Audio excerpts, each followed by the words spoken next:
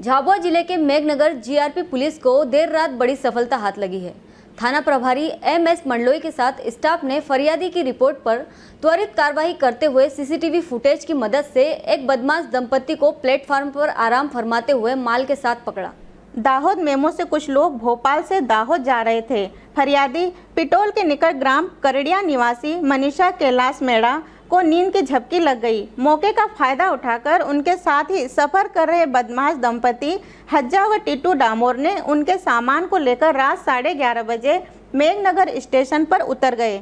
जब मनीषा दाहोद पहुँची, तब उन्हें पता चला। उन्होंने तुरंत मेघनगर जीआरपी थाने पर संपर्क किया।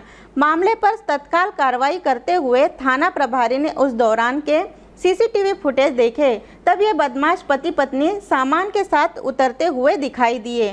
तुरंत अपने स्टाफ की मदद से उन्होंने प्लेटफॉर्म नंबर दो से इन बदमाश दंपति को धर दबोचा। दंपति के पास से फरियादी का सामान, जिसमें रखे छह हज़ार रुपये व चांदी की चेन, दो कड़े व पायल, कुल पच्चीस हज़ार छह सौ रुपये की सामग्री जब्त की।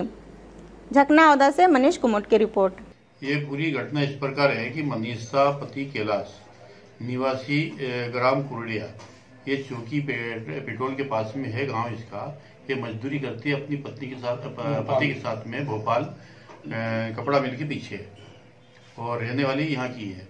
ये भोपाल से MEMU train Habibganj DEMU train Habibganj Dahod इसमें बैठ के आ रही थी। रात के उसके पास में और भी लोग बैठे हुए थे। जब रात में मेघनगर से गाड़ी करीब ग्यारह बजे ग्यारह बजे तीस मिनट पर क्रॉस हुई। तो गाड़ी निकलने के बाद उसने जब देखा, उसको थोड़ी झपकी लग गई और गाड़ी निकलने के बाद जब उसने देखा कि मेरा झोला नहीं है, झोला उसने सीट के नीचे रखा हुआ था। तो झोला नहीं है, जब उसने देखा तो ये वहाँ दाहोद जब पहुँच गई तो दाहोद पहुँचने पर जीआरपी थाने में गई। जीआरपी थाना में गई तो उसने जो एक ने बताया कि आपकी घटना वहाँ की वहाँ जल्दी आप चले जाओ। दूसरी गाड़ी से यहाँ आई। जब उसने यहाँ आके तो पूरी घटना की जानकारी हमको दी कि इस गाड़ी से मैं और मेरे साथ में एक महिला, एक पुरुष और दूसरे और भी बैठे हुए थे और हम बातचीत करते आ रहे थे। उन्होंने हमको बोला था कि हम भी दावत जाएँगे और वो भी दावत जाएँगे। जब ये झोला उतर गया, जब उनको मालूम पड़ी कि ऐसी ऐसी बात है तो जो, जब वो उतर गए, मेघनगर पर दावत नहीं